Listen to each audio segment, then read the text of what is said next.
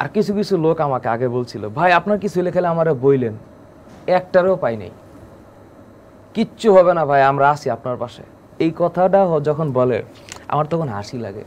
আপনি কতদিন আটকা থাকলেন? একেবারে কি আমাদের মানে যেদিন আমাদের বিজয় আসলো সেদিন পর্যন্ত আপনি আটকা? একত্রিশ তারিখ থেকে 6 তারিখ। ছয় তারিখ। এবং এর মাঝে আপনার পরিবারের উপরেও তো একটা আচার ব্যাপার ছিল তাই না? হ্যাঁ, তো সেই ঘটনাটাও একটু শুনি যে আপনার ফোন থেকে আই থিঙ্ক আপনার পরিবারের কমিউনিকেশনগুলো পাওয়া যাচ্ছিল। ফ্যামিলি ফ্যামিলি ধরেন আমার মতো একটা মানুষ অন্তত পক্ষে যারা রেসপেক্ট করে আমাকে আমার ফ্যামিলি তো জানে। কি ঝড়টা যাওয়ার কথা বলেন? ঝড় তো গেছেই। মা চোখের তো পানি আর নাই সব তো ফেলা দিছে। তো ঘটনা হচ্ছে, আমার ফ্যামিলিতে কেউ জীবনে কোনো আইনজীবীর সাথে কমিউনিকেট করে নাই। আমার ফ্যামিলির সবাই আমার আল্লাহ তখনও এটা মনে টেস্ট করতেছিল। আমার ফ্যামিলিতে কিছু লোকজন তৎকালীন সময় পাওয়া গেছে এবং আল্লাহ এটা কি জানেন? ওই যে ই দেয় না, দুর্যোগ দেয়। এই দুর্যোগটা দেয় হচ্ছে মানুষের ক্যাপাসিটি বোঝার জন্য। আপনার জীবনে যখন ডিজাস্টার নামবে, তখন আপনার আশেপাশের মানুষের ক্যাপাসিটি এবং ওর অ্যাবিলিটি বুঝে ফেলবেন আপনি। কত দূর করতে পারে? আর কিছু কিছু লোক আমাকে আগে বলছিল, ভাই, আপনার কিছু লেখালে আমারে বইলেন? একটারও পাই নাই।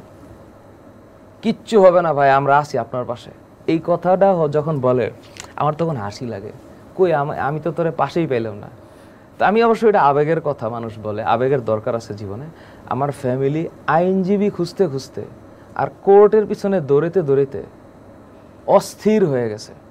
এবং আমার লয়ারের সাথে আমার এখনও কথা হয়। আজকেও কথা হয়েছে, আমাকে ফোন দিছে। এবং আমাকে বলছে, ভাই, আমি যার জন্য কাজ করলাম, আপনাকে তো দেখলাম না এখন পর্যন্ত। আপনি একটু আসেন। তো ওনার সাথে আমার কথা হয়েছে, শুক্রবার ইনশাল্লাহ ওনার সাথে আমার একটা মিটিং হবে। তো উনি আমাকে বলল যে, আপনার জন্য আমি ভয়েস রেজ করছি, কিন্তু আপনাকে আমি আজ পর্যন্ত দেখতে পারলাম না। এখন পর্যন্ত ওনার সাথে আমার মিটিং হয়নি। যে আইনজীবী আমার জন্য কাজ করছে। তো কোর্টে দৌড়েতে দৌড়েতে হাজতে দৌড়েতে দৌড়েতে থানা, ডিবি পুলিশ, কোর্ট আর জেলখানা। আমার ফ্যামিলি আমার ফ্যামিলি না, আমার সানির, রিপন স্যার, মনির স্যার, এই আমার শ্বশুর এবং হচ্ছে আমার অফিস অ্যাসিস্ট্যান্ট রাজ। রাজরেও তো মানে আমার তো সবচেয়ে টেনশন ছিল ওকে নিয়ে। আমাকে যদি একা ধরতো, বিশ্বাস করেন, আমার কোনো টেনশন হতো না। আমরা যদি একা ওরা তিন দিন পিটাইতো, তাতেও আমার কোনো আফসোস ছিল না। কিন্তু যখন আপনার সাথে আরও কয়েকজনকে নিয়ে আসবে, তখন আপনার টেনশন হবে। ওরে যখন সে, তাহলে ওর ফ্যামিলিও তো টেনশন করতেছে। এই সামগ্রিক টেনশনে তবে আমার একটা মানে ভরসার জায়গা ছিল যে পোলাবানগুলো স্মার্ট আছে আমার ছেলে মেয়ে আর যারা আমাকে চেনে, পুরো বাংলাদেশের টপ নচ মানুষ যারা অ্যাকচুয়ালি আমাকে চেনে, এরা তো কোনো না কোনোভাবে আমার ফ্যামিলির সাথে কানেক্টেড হবে। তো ওই গেমটা ওরা খেলছে। মানে টপ নচ যারা বলতে আমার এন্ডে তো মন্ত্রীদের কথা আমি বলছি না বা ওই পর্যায়ের কারও কথা বলছি না, যারা একটু ক্যাপাসিটি রাখে কোর্টে পিঞ্চ করার বা আইনজীবীকে ফোন দিয়ে কি বলে, প্রভাবিত করার, এই ধরনের লোকের সাথে আমার ফ্যামিলির কথাবার্তা হয়েছে। তো কষ্টটা আসলে অনেক। আমি জানতে চাই না ওদের কাছ থেকে যে তোমরা কি করছ। ছোট ছোট কিছু ক্লু পাইছি।